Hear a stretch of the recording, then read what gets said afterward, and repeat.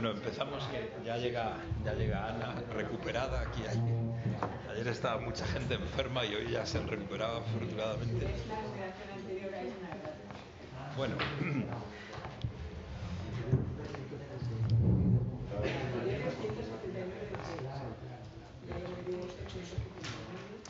De acuerdo, entonces, ¿recordáis bien dónde nos habíamos quedado el otro día?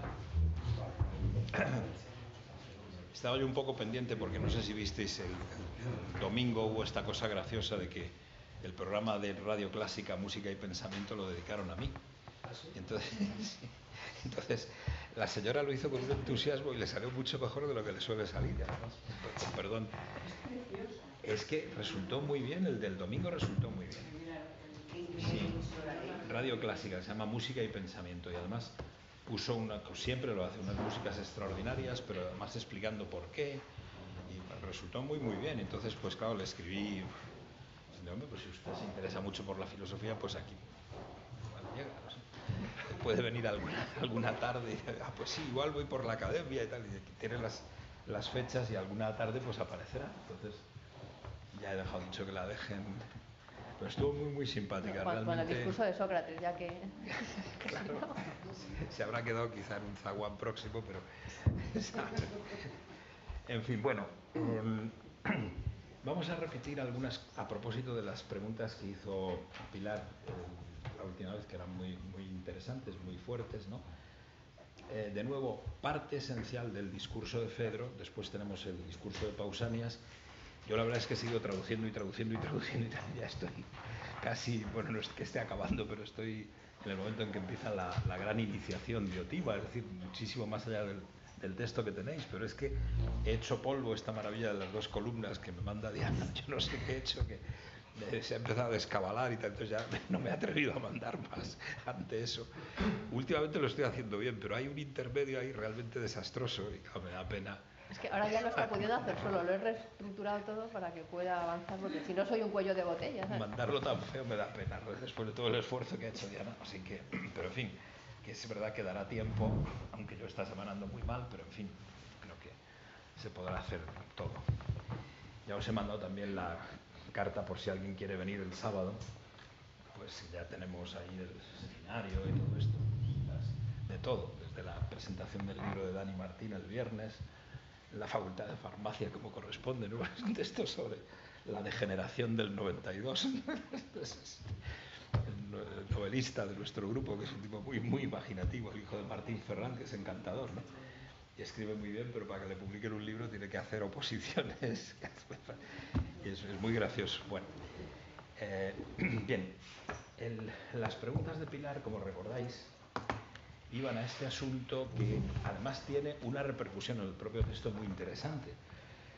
Es que, para que mm, se nos pongan las cosas más difíciles, en el discurso de Diotima, Sócrates cuenta que Diotima puso los mismos ejemplos que Fedro aquí y, los, y no los interpretó de la misma manera, con lo cual ya entonces el lío, saber si realmente han podido ser palabras que se puedan atribuir de alguna manera a Diotima, el momento en que eso se pronunció y tal, pues es mucho más difícil, porque cada vez que dice, bueno, y si ahora piensas en Alcestis y si luego piensas en, bueno, salta otro ejemplo, pero pasa Aquiles.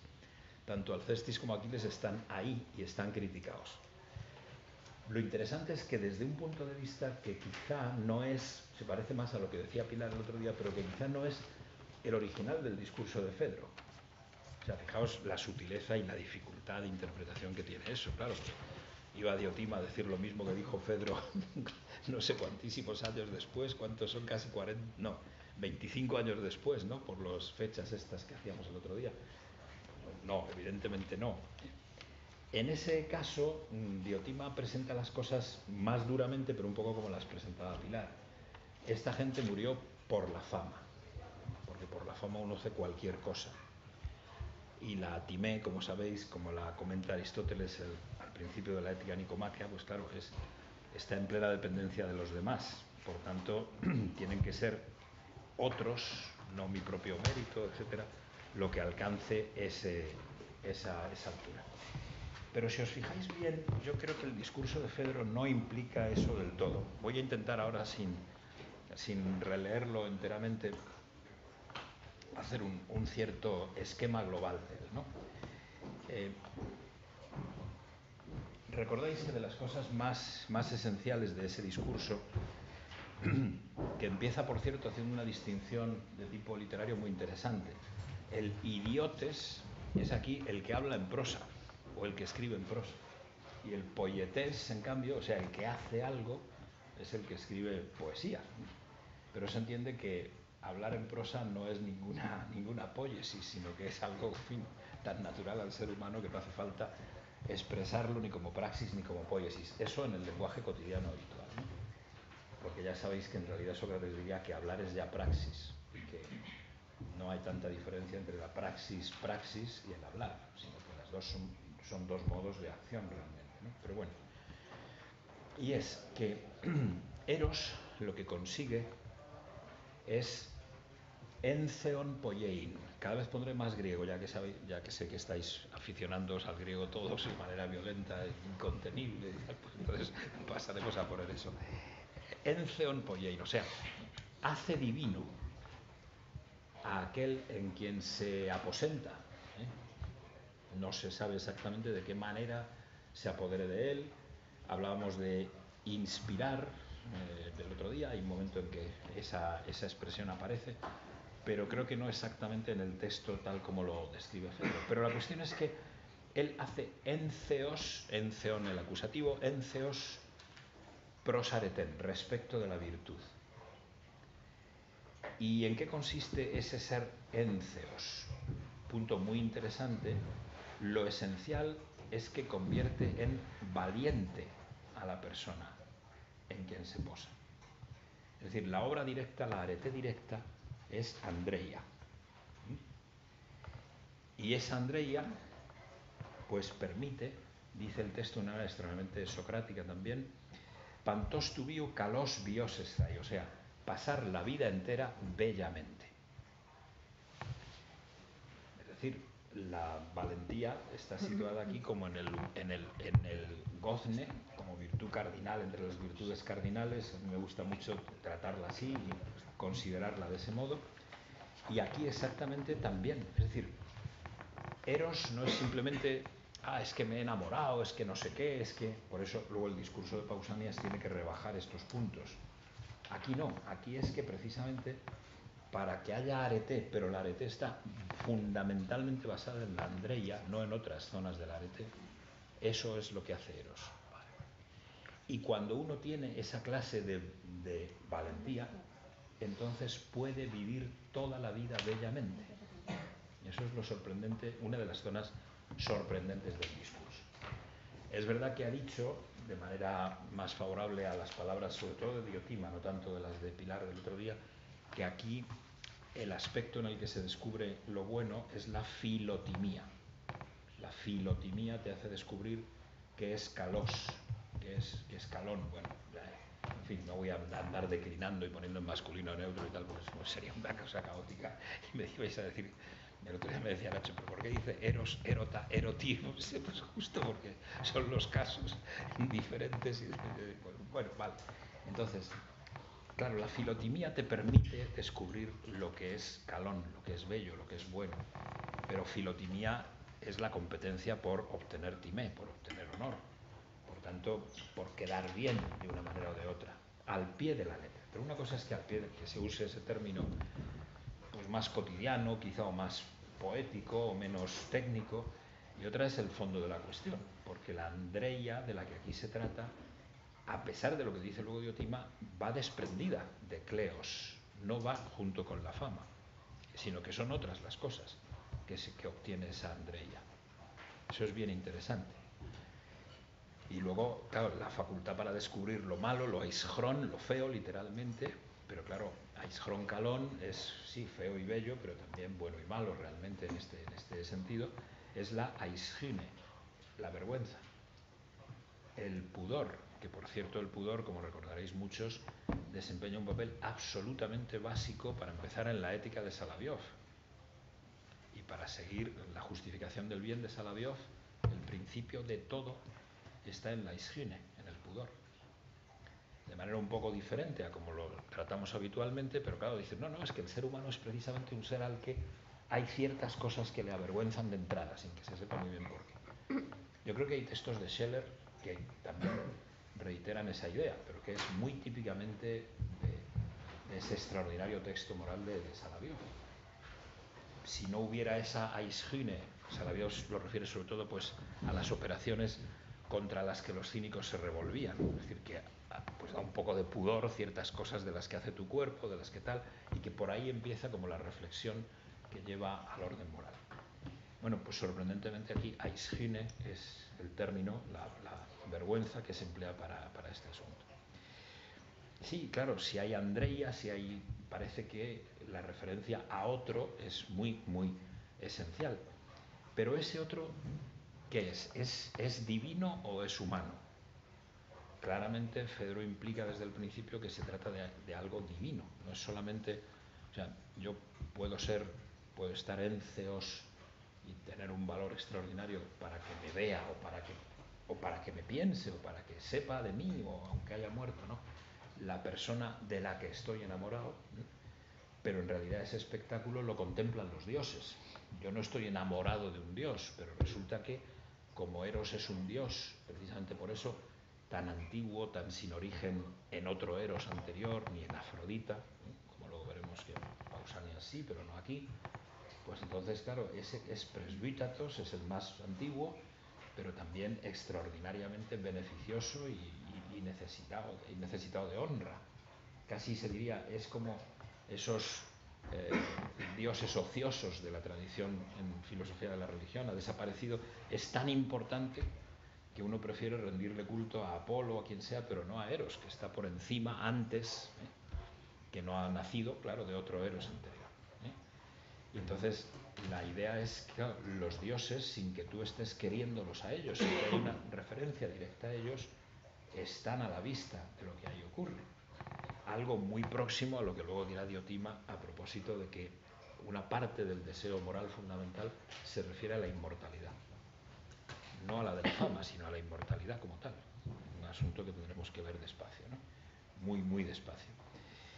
Pero, por otra parte, claro, lo bonito es que vivir la vida de esa manera tan bella, lo que supone es continuamente, bastante de estas horas voy a usar mañana directamente en el chaminade hablando sobre la verdad, porque ya, y, no, y, sobre todo dentro de 15 días me han puesto otra vez los jesuitas, no sé, una cosa extraña sobre qué es salud y qué es salvación, no sé dónde, bueno, pues aquí, Fedro, Cármides, ya está, ya veré. Pero eso, precisamente el que la vida se, se viva tan bellamente, es porque lo que se ha destruido es el miedo a la muerte sin que se conozca previamente, es que voy a tener que morir, es que no, es que tal, bueno, ya se ha visto.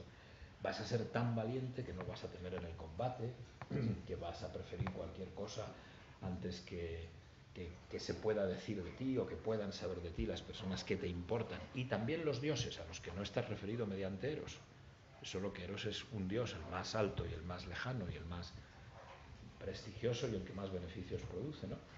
Pues resulta que vivir tan hermosamente es justo la capacidad de enfrentarse con la muerte. Pero enfrentarse con la muerte de varias maneras diferentes, que es lo que es muy, muy especial en el discurso.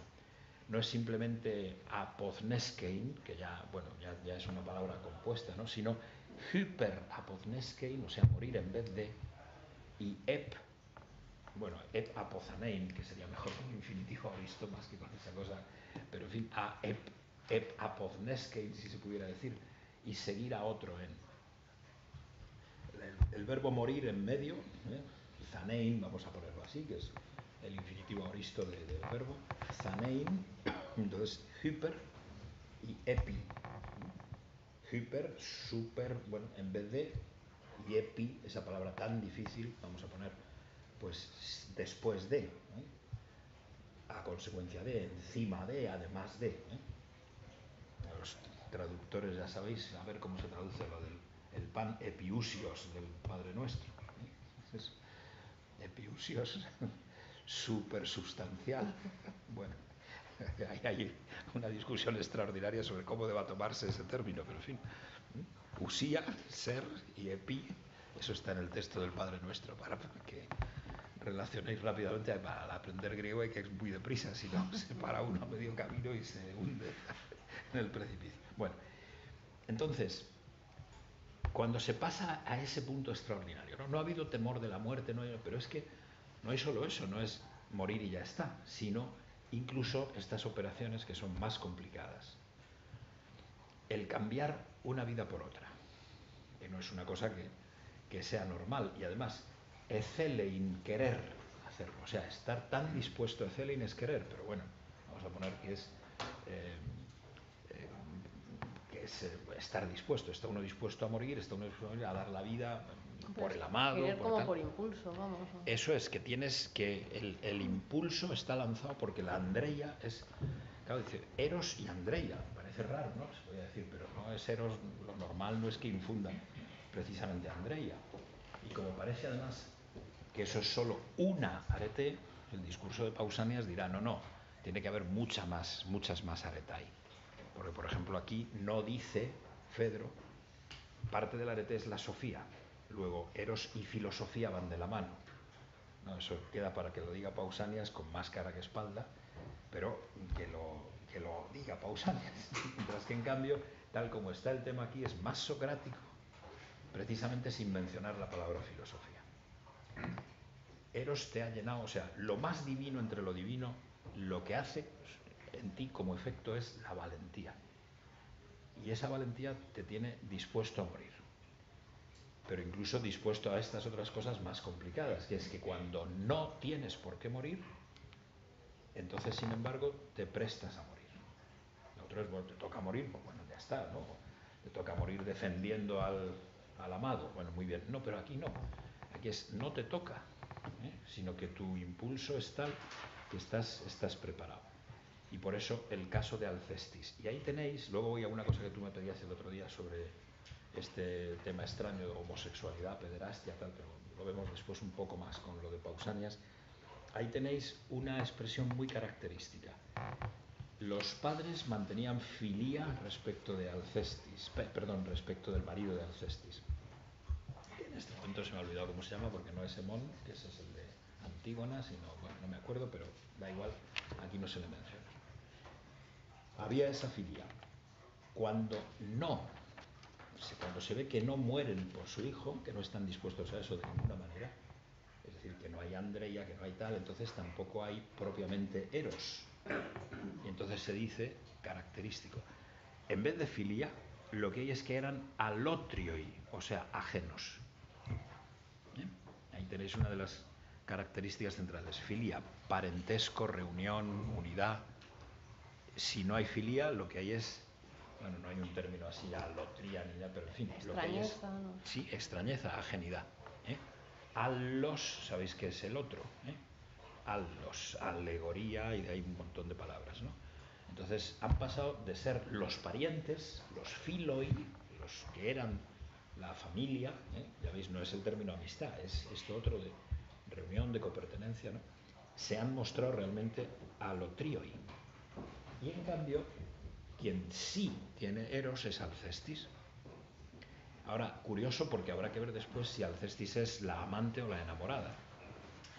En principio podría parecer, no, bueno, Alcestis será la, amada. Pero más bien, como es Enceos, ella es la enamorada en este caso. Y como la Andrea, que es capaz de producir Eros, no pasa muy por encima, otra cuestión absolutamente central del discurso, muy por encima de la physis, de la naturaleza. Los hay que son valientes por naturaleza, los hay que no sé qué. No, no. Esto es que Eros es capaz de hacer pleno de virtud, en virtud de que es enceos prosareten, o sea, y la Andrea sería esa consecuencia, sería precisamente eso. O sea, estar divinizado hacia la virtud es ser valiente, literalmente. ¿no? Y cuando pasa eso entonces, no es que sea por naturaleza, ni por familia, ni por educación, ni por nada.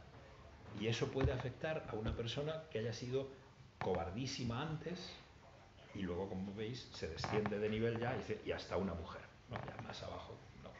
Entonces, para la mujer lo mismo, el efecto es ese. pongo un paréntesis ahí más porque eh, esto es de una, de una riqueza loca, es decir, se puede uno meter ahí, ¿no? Esto es lo que yo llamo enigma, ¿no? puedes meterte y desaparecer bajo el texto. Eso no le ha pasado ni al Cestis ni a nadie más que al llegar a cierta edad, porque la descripción inicial es qué maravilla que alguien te ame, tal, porque entonces, y que tú respondas también con eros, porque entonces empieza la isgine, la filotimía, etc. Esto se va a ver en todos los discursos, pero aquí está fortísimamente visto que, bueno, podría uno ser valiente por naturaleza, podría uno haber, se supone uno ha podido nacer pues como Aquiles, como no sé quién, como una persona no sé cuál, pero si uno ha nacido hecho un desastre, resulta que Eros, incluso si eres una mujer, pues te lleva hacia ese, hasta ese límite. Y entonces deseas morir por, das la vida por. Y ahora añade el texto otro término más extraordinariamente socrático, que, bueno, se le olvida quizá a Diotima en su crítica sorprendente 25 años antes de que Fedro hable, ya Diotima lo ha criticado, pero se equivoca. O sea, bueno, esto es una cosa loca. Y es que además esa Andrea te produce una profunda eudaimonía. Eres feliz. Eh, enamorado, eres feliz. ¿Cómo enamorado estoy sufriendo como un loco porque no me corresponde? Eres feliz. Eres feliz, estás dispuesto a morir, estás no sé qué, tal. Esa es la manera de calos biosesta y de pasar la vida bellamente. Hay eudaimonía. Y entonces esta eudaimonía, apoyada en Eros, como veis, pasa por delante de la filía oficial, de la filía de sangre, ¿no?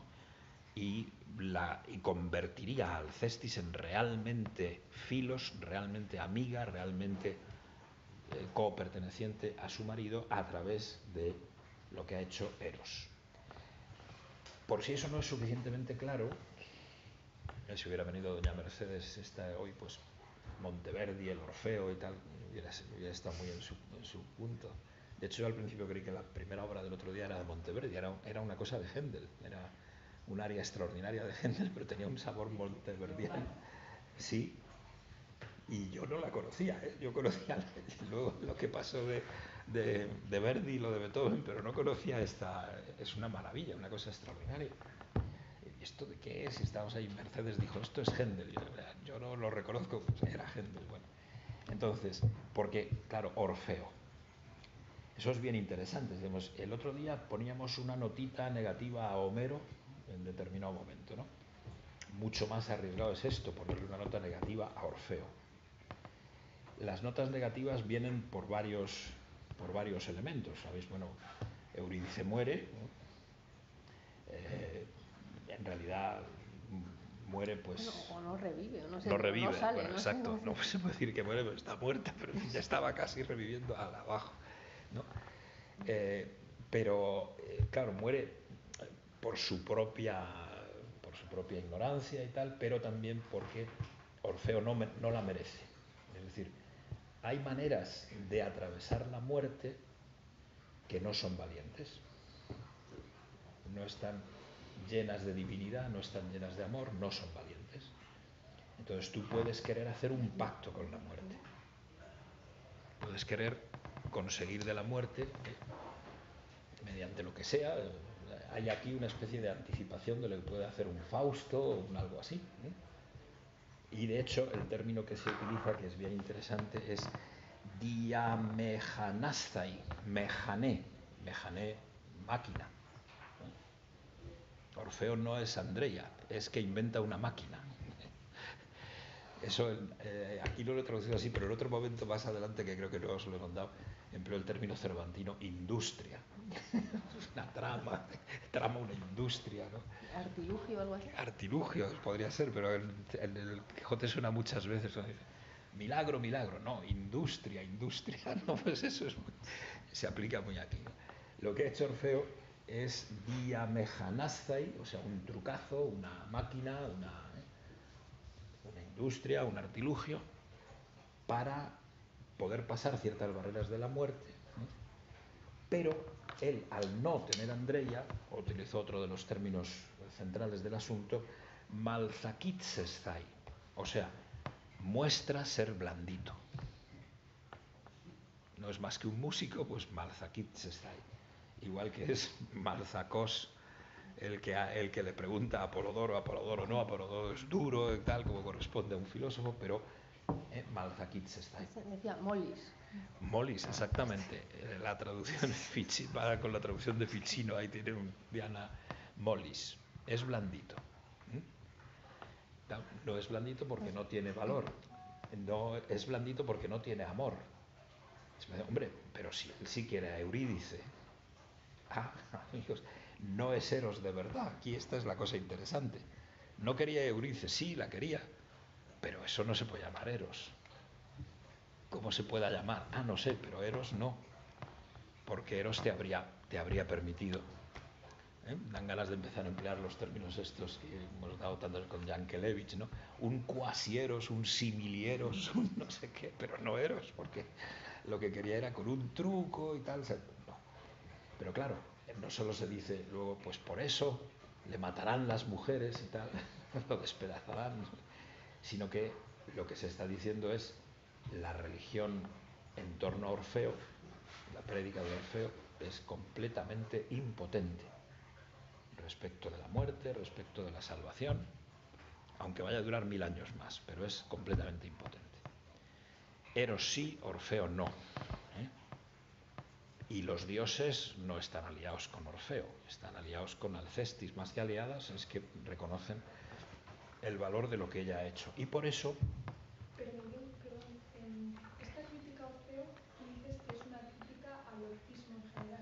Yo creo que sí, yo creo que sí. Y la crítica se basa en esta idea del truco. Claro, en la idea de que en realidad Orfeo no merece. O sea, es como si, traducido a términos religiosos contemporáneos, sería, hombre, mediante una superstición y mediante no sé qué, y mediante un rito tal, vas y te salvas. No, es que he comulgado y ya. espérate, en es, un poquito más difícil. Sería eso no la gracia a precio bajo, como decía Bonhoeffer en un célebre libro, sino otra cosa. Esto así no va, esto no va así. Por tanto, en realidad también se está diciendo eso, que no es Eros, a pesar de que parezca que es Eros. Realmente no es Eros, no ha habido divinidad, no ha habido, por tanto, valentía, etcétera, etcétera. Es interesantísimo. Entonces, ¿qué ha habido? ¿Qué es eso? Se podría estar previniendo lo que luego va a decir Pausanias, que hay un Eros que no es para nada divino ni nada por el estilo. Bueno, para Pausanias ningún Eros es divino, pero mete ahí una... Ahora veremos porque está lleno, lleno, lleno de cosas. Bueno, yo lo hablo porque me lleno de entusiasmo, ¿eh? con Ion como, como Ion con Homero, pero igual estáis todos más llenos de entusiasmo todavía aquí contenidos sin que yo os deje lanzaros a hablar. Pero eso podéis hacerlo en el momento que queráis. ¿Le darías el alcance de que se llega a criticar que en el orfismo hay como una puesta en escena pero no hay divinidad? Yo creo que lo que se está diciendo en realidad. A ver, digamos, velado, digamos, o vamos, no es que se esté negando. Eh, yo creo, no, es que creo que Fedro, mm, compañero de Sócrates, aunque no aquí no se describa eso, lo que está es en realidad diciendo es infinitamente preferible el, el socratismo, si se quiere decir así, como filosofía, como digamos como religión, a la religión. La religión no es religión, la religión es superstición, es me he metido un poquito con Homero, lo dejo.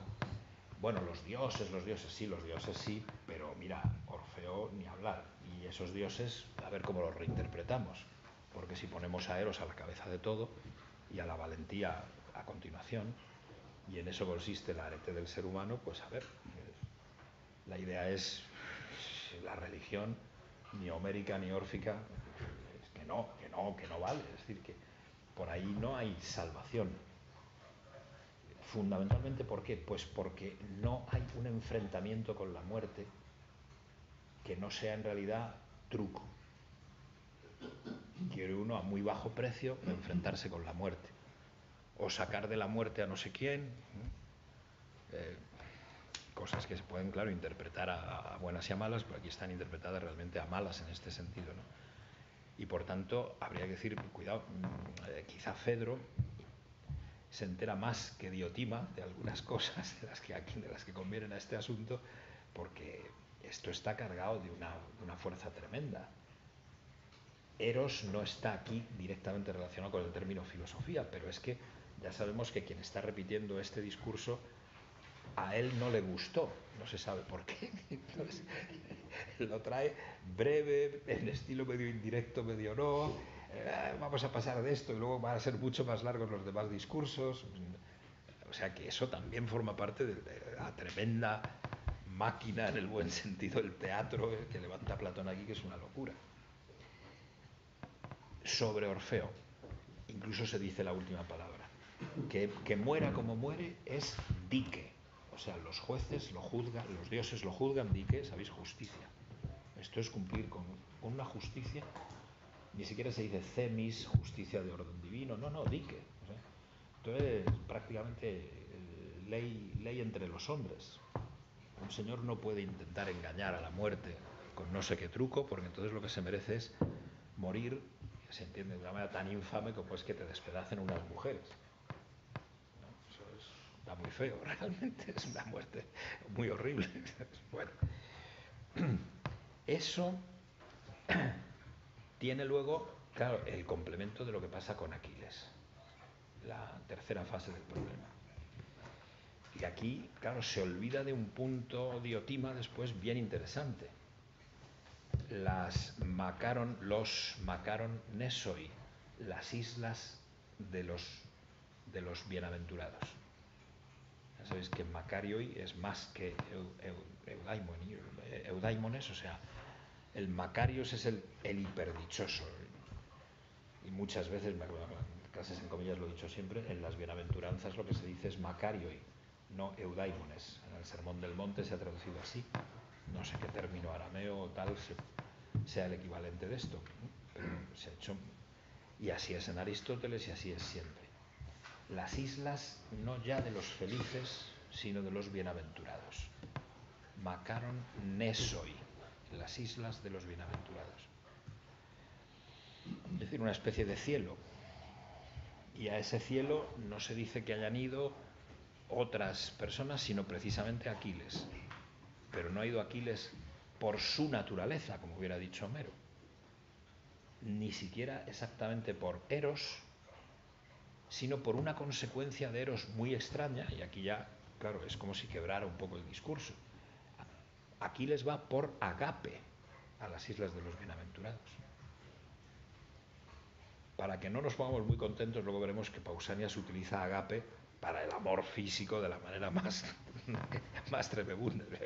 Cuidado, quietos, ¿eh? que no hay que teologizar demasiado, ponerse tal, porque se puede emplear el término agape para usos completamente diferentes de esos.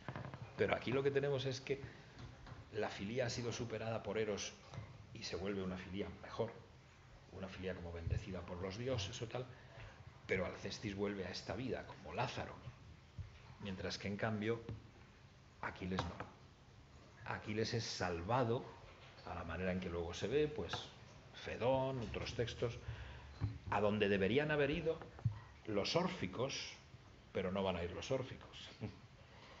Esa visión me gusta mucho, lo repito también mucho en la en, comillas, los órficos pedían tres vidas santas, o sea, tan blanditos no eran. Con una sola vida santa no vas al cielo, cuidado, tres. Y sin embargo, el texto dice, qué blanditos son, o sea, esto no, esto no puede ser las islas de los bienaventurados es un tema órfico. Y sin embargo aquí resulta que no. No es la fama, sino las islas de los bienaventurados. Y se hombre, pero es que aquí les todos sabemos que el tema de la fama está presente en Homero de manera absoluta. Lo que, y en Homero sí, en Homero es que Aquiles lo que quiere es que se hable de él 25.000 siglos después, que tal, que cual, que cual. Aquiles no se ha propuesto ir a las islas de los bienaventurados incluso si me permitís una broma de cierto mal gusto, si allí se va a encontrar con el pesado de Patroclo otra vez, pues preferiblemente no. Son islas, pueden estar cada una en una, ¿no? ¿Perdón? Que como son islas, pueden estar cada una en una. Eso sí, puede ser. A mí siempre me ha, me ha satisfecho mucho eso que, que dice el, el, Nuevo Testamento. En el cielo hay muchas moradas. Me parece maravilloso. No una sola morada común, eso sería un lío. Muchas, eso me parece. Bueno, pues la tiene razón, una pluralidad de islas, si no individuales, por ahí se hace. Pero claro, que el premio sea reencontrarse con Patroclo, pues francamente no. Patroclo la está persiguiendo, tal, en fin. Por supuesto, Aquiles no se ha propuesto ir a las islas de los bienaventurados. no se ha propuesto tampoco morir. Lo que pasa es que de alguna manera sí, porque como sabía por su madre divina, aunque él no se la crea ni a su madre divina, como ya sabemos, sabía que tenía una alternativa. Aquí se la presenta como si fuera una alternativa. Todos sabemos que Homero no es una alternativa. En Homero está la Moira y aquí les va a hacer lo que tiene que hacer y da igual. Pero claro, la gracia del poema homérico es que te lo presenta como si Aquiles hubiera estado en una alternativa. Ya sabéis, según mis explicaciones, espero que no sean muy descaminadas, es que Homero lo que dice es, hombre, no somos libres, pero es mucho más entretenido creer que lo somos. Aquiles creía que éramos libres. ah, yo me puedo ir mañana a la fértil tía y tal y cual y vivir una vida. No vas a ir a ninguna parte, tu Moira es tu Moira y se ha terminado. Ah, pero entonces se confronta con la muerte.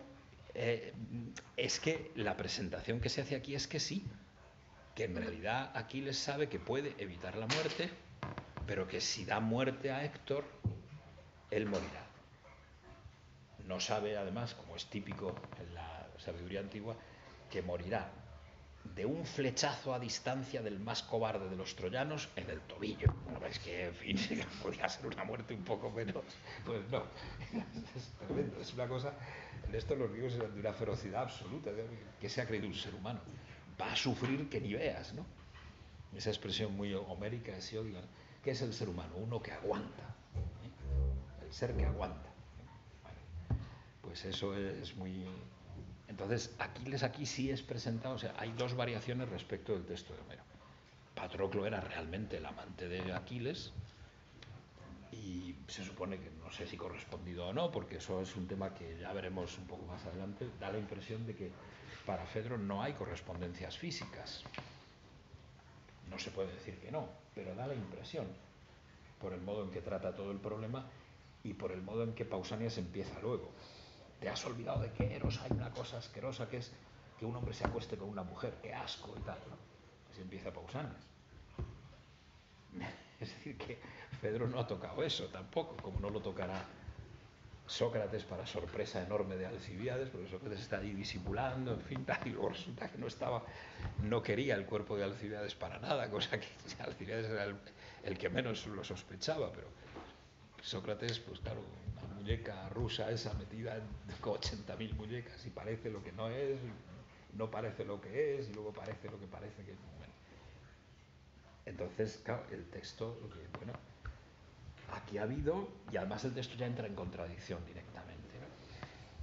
Ep apozanein, o sea, seguir en la muerte, es ya una hazaña de tal calibre que eso te lleva a las islas de los bienaventurados, quieras que no sin que tú te lo hayas propuesto. Eso es siempre fundamental. ¿eh?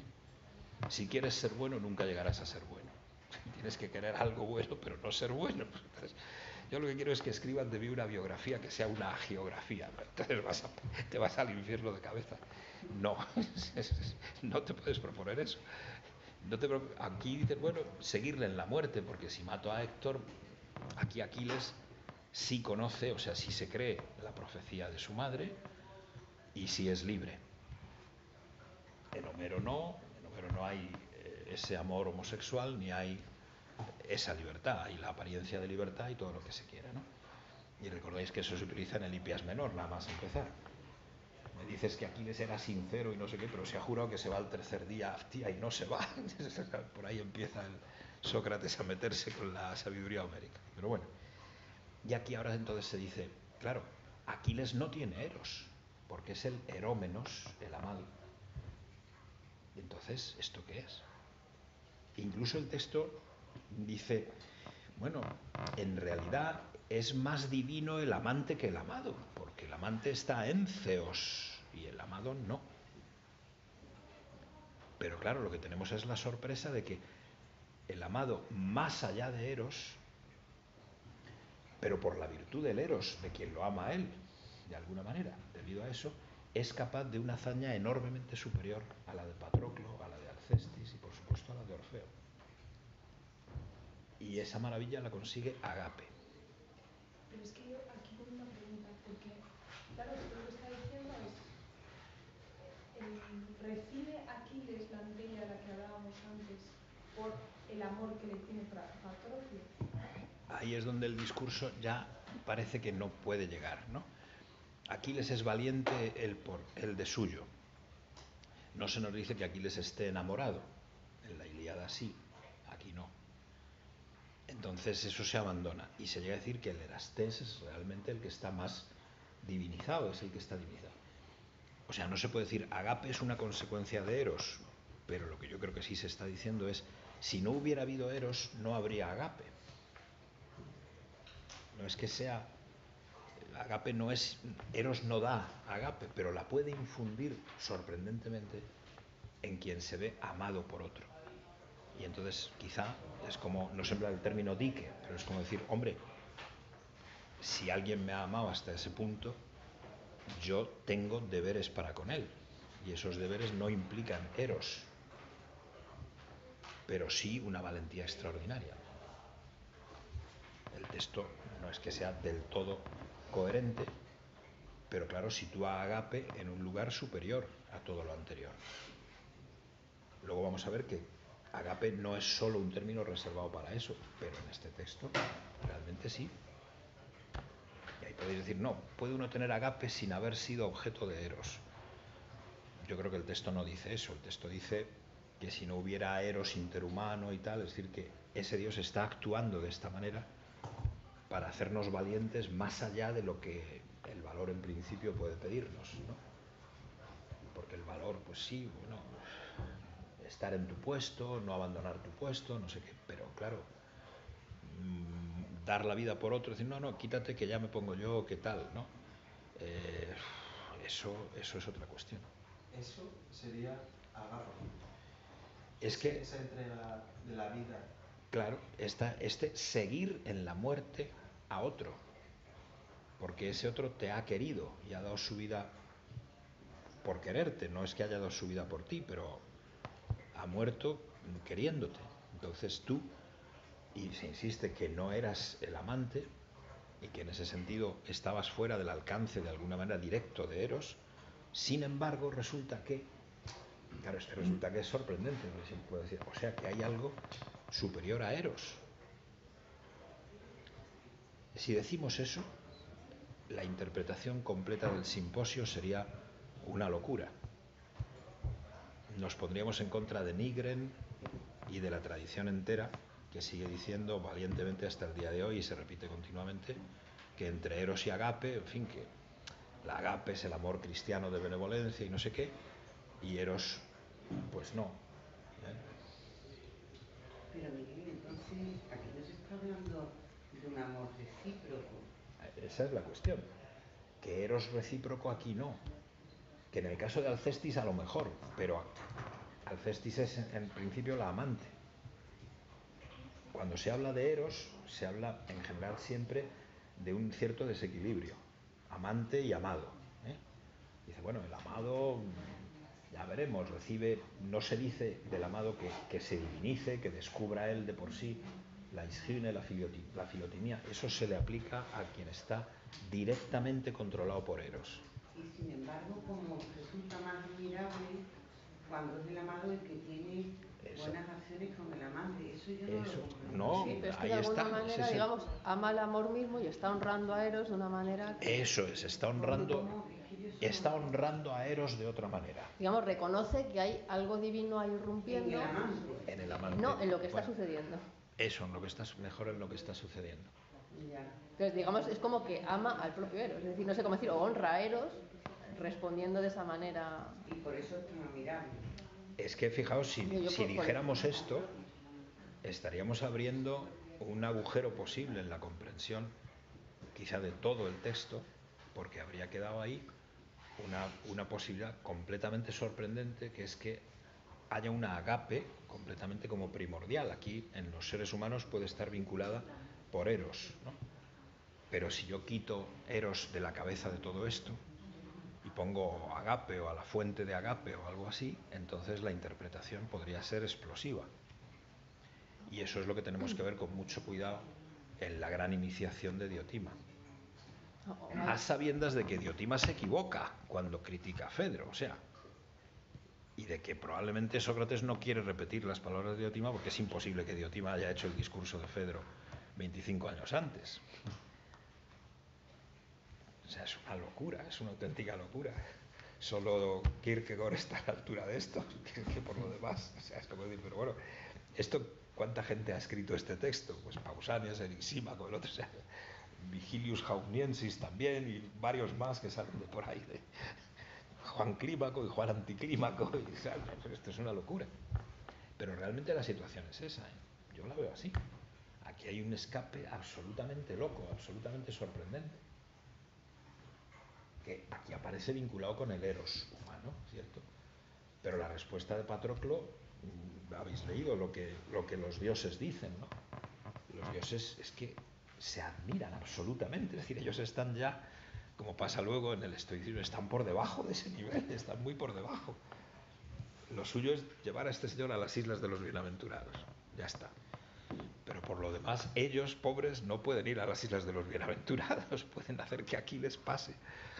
Y lo más que pueden es lo que el, lo que el texto describe aquí, con unas palabras hermosísimas realmente, ¿no? Y, y fortísimas, ¿no? Que dice, no ya hyperapozanein, sino epapozanein, Y entonces, hyperagescentes.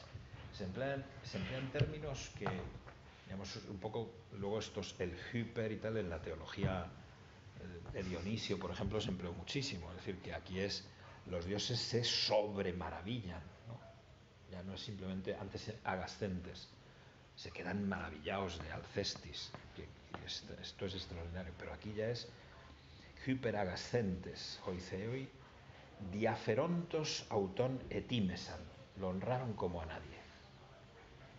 No tenemos otro caso, islas de los bienaventurados. Bueno, podríamos al contrario decir, afortunadamente a Patroclo no se lo llevó a las islas de los bienaventurados, lo dejó en otro sitio, entonces aquí les lo pasa a las islas de los bienaventurados. Cotiton erasten auto peripolú epoieto. Y entonces emplean otros términos. ¿Por qué? Porque a su amante lo tuvo en tantísimo.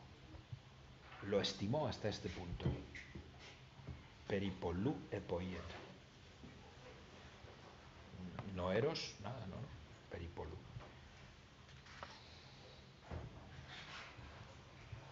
El término agape, ¿dónde está exactamente? Por ahí antes, después, debe estar aquí después. 180b. 180b, exactamente, está un poco después. Aisgilos fliarei, por si Homero y Orfeo no han tenido bastante, también Esquilo recibe lo suyo a continuación.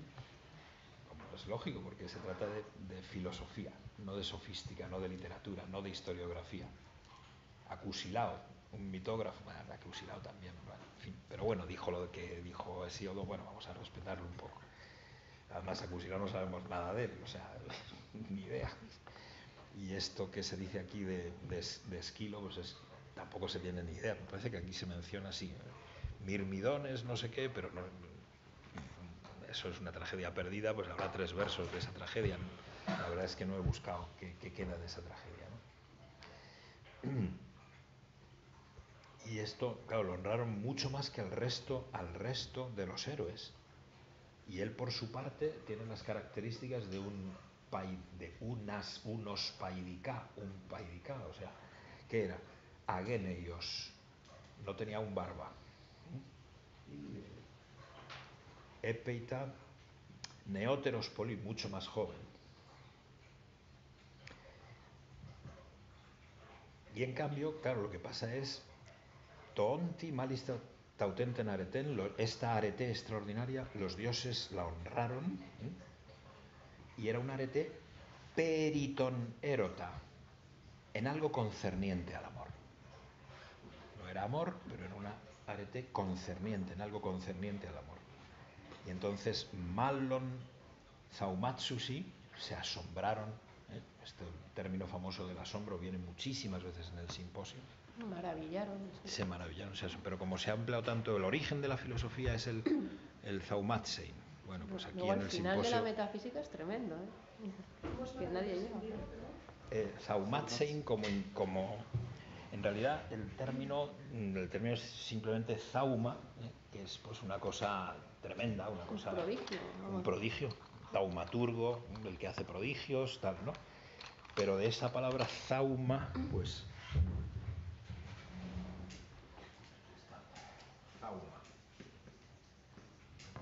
es el, verbo es zaumatse.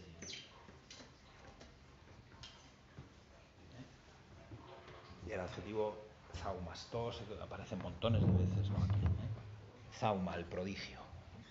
Entonces los dioses se quedaron, eh, Zaumatsu sí, se quedaron perplejos, asombrados, maravillados, literalmente, maravillados. Un término que le gustaba mucho a Juan Martín Velasco, siempre hablaba, la palabra a mí no me gusta, pero el concepto, el maravillamiento, era una cosa que él repetía mucho. mirabilis. Pues. Mirabilis, sí, cierto, cierto. Kai agantai, porque había hecho tanto bien, entonces pues la honran, la admiran, tal. Y entonces la frase fuerte, ¿no? Jotan joerómenos, porque aquí el amado tonerasten agapá, amó con amor de agape al amante.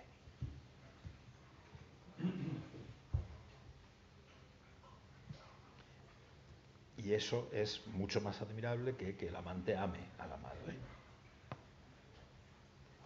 Podéis decir agape si queréis, ¿no? da igual, pero vamos, la palabra correcta en, griego es agape, lo que pasa es que los acentos cambian cuando se, o transcripciones latinas o lo que queráis, ¿no? Agape, agape. Si habéis oído canciones griegas contemporáneas, pues todo es agapimu, no sé qué, en fin. Amame te amo, amor mío. Pero bueno, agape. Agapao, o sea, el infinitivo es agapan. ¿eh? Erao de Eros, Eran. Pero Eran es amar con Eros, agapan, amar con agape. Y el texto dice esto así. Podría haber empleado ¿Qué otro término? Pues emplea agape de una manera absolutamente central, capital, cuando se va a terminar el discurso. Mira que es León Godin, que es de los que ha escrito bien sobre Platón, ¿no? el autor de esta de la estupenda edición de Level Letra, ¿no? pues pone al principio de todos los discursos que no son el de idiotima, dice, los discursos no filosóficos. Que tienes que coger a León Robben y darle de palos, en fin, Simón Weil habría hecho justicia con él, habría metido en la cárcel dos o tres meses, en fin, no sé, porque discurso no, esto no es un discurso filosófico, pues ah, caramba, es una cosa absolutamente impresionante, completamente deslumbrante, impresionante y misterioso. Porque sí, es como partir la fama, no sé qué, los fenómenos contemporáneos, se ve muy bien una cosa que vas a ver luego en el texto de Pausanias, cómo, cómo se equivoca. Aquí se dice, hombre, está muy bien y que, uno ame a los chicos, a las chicas, a lo que quiera que pero a uno más joven y tal y cual. Pero lo no normal es que se viva juntos en una vida, eso no. Eso es Pausanias el que tiene que defenderlo eh, violentamente, pero no es la idea. Es decir, que tú que fuiste objeto de un amor así, que te hizo entrar en el ámbito del arete, pues a tu vez te desprenderás de ese amor y tendrás amores de otra clase. Esa es la, cosa, todo lo difícil de entender que se quiera, pero bueno, en una sociedad donde no hay mujeres, donde las mujeres están metidas en el subsuelo directamente, pues bueno, no sé. Yo lo sigo viendo como una cosa muy extraña, debo reconocerlo, pero no puedo decirlo más que así entre nosotros, pero es muy raro, pero en fin, da, igual, eso es... Y además, como ves, es que no es exactamente, es que filia, eros, agape, todo esto pasa en un terreno en el que no se menciona ni siquiera una unión física o no. claro, esto parece que es anticipar más, más aún que a Diotima, a Sócrates más que a Diotima. Es decir, que habría probablemente que no confundir el discurso de Diotima con Sócrates, no del todo. Esto ya sería el colmo. Pero a mí me parece que eso es muy plausible. Toda la Edad Media confundió el discurso de Timeo con Platón, pues entonces estamos más que preparados para...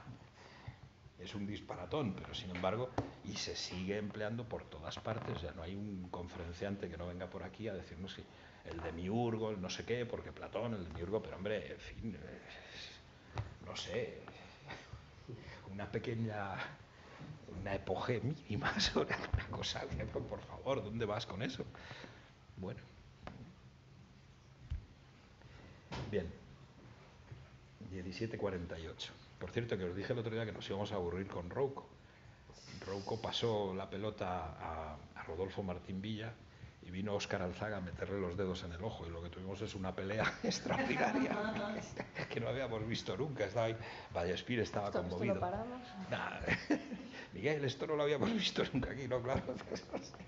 El ministro del Interior que tenía fichado todavía y con el teléfono pinchado al, al- a uno de los jefes de su propio partido, Óscar Alzaga. Pero esto el año 82, ¿no? el año 70, que por supuesto, sino el año 82. Y Óscar Alzaga se trajo su documento de la policía. Yo no contesto a los malnacidos y tal, y de todos los demás. Intervino Araceli de una manera extraordinaria, extraordinaria. Y Miguel Herrero gritó, eso es hablar de lo que se sabe. Un caos completo. Hoy sí, hoy habla Rocco. O sea que-. Así que hoy me voy a ganar mi dieta, pero vamos, como... ¿No lo han subido al YouTube? No, no lo han subido, pero fue tremendo, fue realmente tremendo. que Rocco parece que está todavía muy lúcido, ¿no? Bueno, en fin, sí, está como siempre, diría yo. ¿eh? No pasaría. Que no, que no, deja, deja, que quede para la posteridad las locuras que uno dice, ¿por qué no? Una cosa antierótica también a veces inspira, ¿no? sí, Bueno, es verdad. Está en su tónica. está en su tónica. Pero vamos, va a hablar solo de un discurso de San Juan Pablo II de hace cuarenta y tantos. No creo que, pero bueno, va, vamos a dejarlo. A lo mejor es luego apasionante, ¿eh? o a lo mejor viene alguien a meterse con él y es Olegario el que se mete con él y tenemos una pelea indescriptible. Es poco probable, pero oye, quién sabe, Olegario a veces se pone. El otro día se enfadó con Jaspers y bueno, hay que calmarle. Bueno, en fin. Esto es muy entretenido, esto de los martes es muy entretenido y muy... Más intervino Tamames, nada menos, claro, Tamames es secretario general del partido, casi no, porque Carrillo, documento del año 56 sobre la reconciliación, claro, se lo sabe de memoria, Tamames tiene una memoria increíble. Y encima está muy lúcido y encima tiene una vanidad extraordinaria, además se lo dicen. Ramón, ya sabes, tú como siempre quedas muy bien y ánimo, pues. Pero es buenísimo, es un tipo buenísimo. Es muy divertido y buenísimo. Bueno, no los ha oído nadie total y esto para John David no pasa nada. pero Cuando sepan que hablas de estas cosas empezarán todos a escuchar. No tenéis que mirar la, la- Acabarán leyendo a Platón. toda lo de las fotos desde abajo es conmovedor. Lo que claro, dices, aquí ha estado don Julián Besteiro, don Manuel García Morente. pff, Te No, quedas luego a- decías del Panteón de Francia, pues aquí los reunimos vivos, oye, parece que Aquí no. sí, claro, la interrupción del 36 al 39, Dios sabe los que mataron, los que murieron los que hicieron matar a... ya no sé. Pero es una cosa tremenda realmente. En fin, qué cosas le pasan a uno más absurdas. En fin, eso lo compensa saber ahora cosas con... Lo estoy diciendo mucho estos días, pero quiero que lo sepáis. Ya sé cosas a través de Repara que no me puedo ni decir a mí mismo creo que el otro día empleé el término, prefiero ni recordarlas, vamos, ni, ni comentarlas conmigo mismo. Y eso pues me lo podría haber ahorrado. Claro, luego me decía el presidente, qué bien habla de ti el cardenal de Madrid. Solo faltaba. Vamos, es lo último. Ya te llenó de elogios. Sí, claro, no me extraña nada. En fin. Menos mal que la radio clásica ayuda. en fin. Ay. Bueno, esa es la frase realmente, realmente esencial, aunque se diga en la frase siguiente, Ceioterongar erastés paidicón. Es un ser más divino el erastés. Cual además es tremendo, porque es como decir, lo que fue Aquiles es mucho más humano que divino. Y sin embargo, por eso mereció la enorme admiración de los dioses, porque de alguna manera, bueno, es verdad, esto Es un escolio que no había, no había yo visto exactamente. Le admiraron tanto porque no estaba simplemente poseído por los dioses, porque hizo algo superior a lo que Eros es capaz de inspirar. Oye, esto es fundamental. Se me había. Mi interpretación tenía un agujero, pero es absolutamente fundamental. Es- y es que el amante, es decir, pero reconoce, ¿sabes? Digamos, a Eros en el amante, es decir, en- Claro, el amante es, y además que lo repite, enceos garestim. El amante es más divino porque está... sí, pero es capaz de reconocerlo Aquiles, es decir, Sí, y de honrarlo, vamos, y de estar... Es que claro, eh, Calós yo me tropezaba esta mañana con otra acepción, a ver, que no es el Aristos este tal cual, pero es noble en el sentido de belleza moral, ¿no? Es decir, sí, y sí. claro, no, es que, yo para mí el discurso este de Fedro, vamos, Fedro, su planteamiento es más bien, pues eso, estético, ¿no? En ese sentido de que le parece muy hermoso y muy noble el que se esté a la altura de, de Eros, ¿no? Es decir. Oye, y lo están, eh, lo están este- enfocando desde ahí, claro, pero es que... Este final es extraordinario. Esto sí que es extraordinario. Bueno, no hace falta que lo apunte porque no se me va a olvidar nunca, pero no lo había visto. Francamente, mira que lo he estudiado a veces, pues no lo había visto. Hasta escribí un ensayo sin verlo. o sea que- La Pues es historia de como los- vamos, vas haciendo- ensayos te dan premios y te lo dicen. Mira, retire, usted retire eso mejor de la circulación porque qué cosas. Claro, es que es así. No, es, no ha sido por la fuerza de Eros, ha sido que un ser humano se ha levantado a más altura de la que un Dios es capaz de concederle. Toma.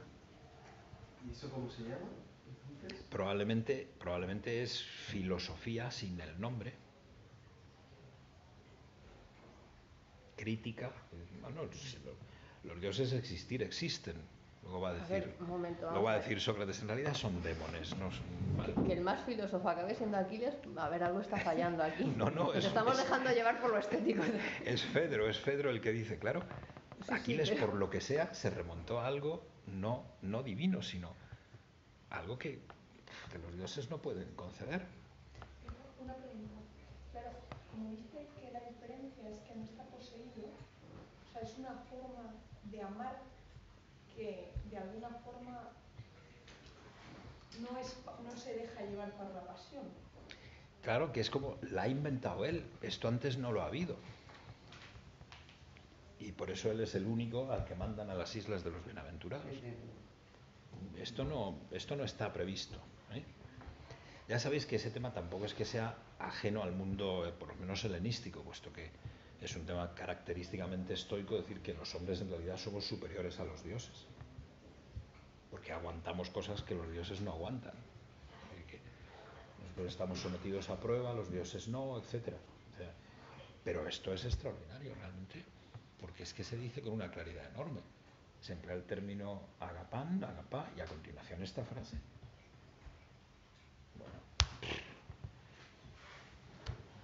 Ya tenemos, por lo menos el primer ensayo sobre el simposio. Mira, mi traducción no- claro, es más fea que la de Luis Gil, claro, al ser más, entre más exacta o más, también más criticable, lo espero de nuestros filólogos aquí presentes, pero claro, es más fea, lo que pasa es que es impresionante, es una cosa realmente. Es lógico también que Apolodoro diga, nah, esto es menos filosófico, vamos a pasar otras cosas más bonitas y tal. Y es también muy importante, yo creo, porque ya son, pues son casi las seis, ¿no? Van a empezar las campanas, viene Rouco. También, hombre, yo quiero comentar un poco con lo, lo del otro día, porque aparte de que en el cuarto de baño, ¿qué ha pasado aquí y tal? Estábamos todos un tanto temblorosos con aquella irrupción. Yo era niño, o sea, yo me acuerdo un poco de los años 80. Bueno, niño no, yo estaba en Alemania y volviendo de... Me perdí el gran año en Alemania, pero bueno. Eh, Pero entonces las escuchas se oían, decir, hacía una cosa clic, y se ponía a grabarse. Porque... no Y sé, es que mi padre, el luego- aguanto tuvo escucha era muy divertido. Colgabas el teléfono y se oía clac, plof, entonces dices, vale, están grabando. Es posible. Además, ya, ya le puedo decir esta tarde también a Martín Villa. O sea que mi propio expediente policial también lo quemaste. Porque sí que lo destruyó todos, por lo visto. Casi todos. El de Alzaga no pudo. Es que eso lo contó Alzaga en un libro hace unos meses. Y entonces, claro, se produjo un revuelo de primer orden. Eso, caramba. Eso es como la destrucción de los trenes del 11M. que- ¿Quién destruyó los trenes del 11M? O sea, ¿qué, pasa aquí? No, es que así ya pues no se sabe ¿no? quién fue el policía y quién el perseguido. Bueno, pero voy a tener cierto interés, saber quién, quién acusaba a quién, quién perseguía a quién, quién torturaba a quién ¿no? dentro de un orden. Porque claro, la tesis es, eso seguía siendo una dictadura. Lo blandita que tú quieras, pero una dictadura como una casa, hombre, si, a mí me condenan a un año en Melilla por haber saludado a mi tío en la plaza central de Toulouse, o sea, es realmente mi ficha policial era breve, bueno, hice otras cosas en la universidad. Pero claro, eso no digamos que es precisamente propio de un país que no es totalitario. Cierto que mi tío había estado muy comprometido en la guerra en el bando republicano, ¿vale? Pero en fin, por sentarse en un café con él, tampoco el pecado es 15 meses a África, hombre, está bien, pero bueno, dejémoslo estar. pues, ahí, pues ahí está lo malo.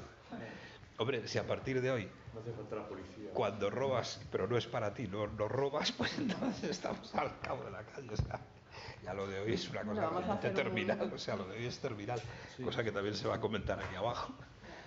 Es una academia de estas platónicas y vamos a robar lo Tú robas donando para- muchísimo, pero luego se lo das a David y ya. ya Bueno, lo has robado. y David en Japón además, pues eso ya tiene que ser. Hombre, que luego David me hace algunos favores, da igual, pero no ha robado. O sea, no ha robado. Esto, es inconcebible. En aquella época, en la vida diaria, no éramos conscientes de la dictadura.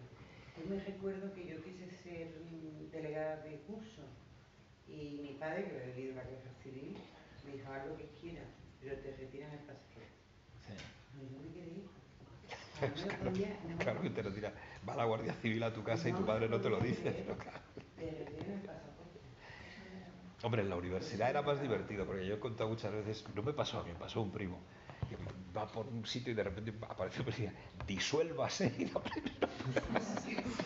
con la María de la disolución, claro, te lo dicen. Y por claro, llevabas la República en ruso en la mano, eso era muy conocido, pero es que era lo que pasaba. Es- Esto es la República y está en ruso, la trena. Le pegaban dos es un bofetadas. y joven disoluto, claro. No te que disolverse. ya está. Bueno, ya he contado muchas veces que a mí me, me detuvieron en la mili, me castigaron en la mili por llevar un libro de Husserl. Eso fue un pecado tremendo. Venga, la tercera imaginaria de esta noche, arrestado, el libro arrestado. Ideas uno, tampoco era. Si hubiera sido las investigaciones lógicas se comprende, pero ideas uno, en fin, no sé. Qué desastre. No, pero lo de hoy ya pasa de castaño oscuro, ya esto es una cosa. Bueno, en fin.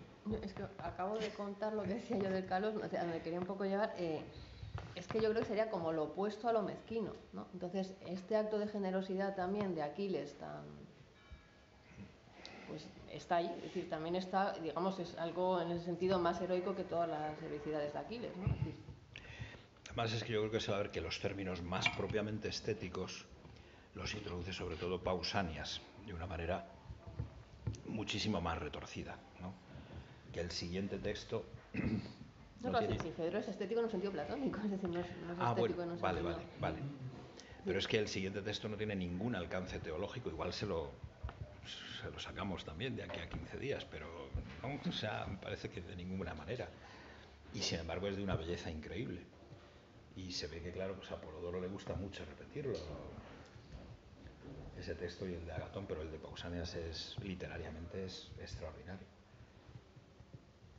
Como lo es el de Aristófanes, que cuesta un trabajo traducirlo terrible, porque además tiene una terminología típica de Aristófanes, pero que yo no conozco. Empiezan ahí a aparecer desde unos frutos extraños, del, los- el serval o no sé qué, ¿no? que partían en dos. Las qué sé lo que es Pero esto. yo creo que eso no- Las eso no que se ponían a Pero secar. no es para que maduren, ¿eh?